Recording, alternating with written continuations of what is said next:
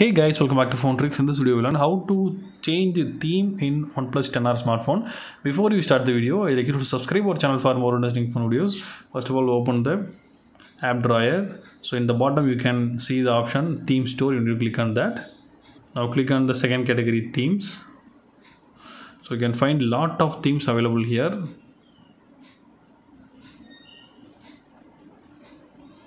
So some of the themes you can purchase so if you want to download free themes you can go with the top free collections.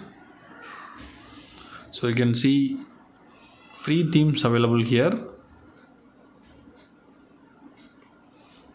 So if you want to download any theme you need to click on the apply.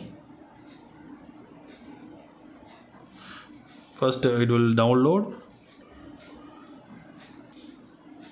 So before you download we need to log in with your uh, oneplus account now I logged in with my account. Now click on OK. Now click on apply.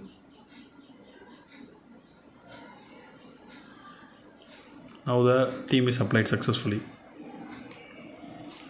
So if you want to go with the default theme you need to open the theme store again. Now come back to then click on me option. Now click on the my resources the in the default theme you need to apply. Now the default theme of the phone is applied successfully. So that's all guys. I hope this video is very useful to you. If you like this video hit thumbs up. See you next video. Bye bye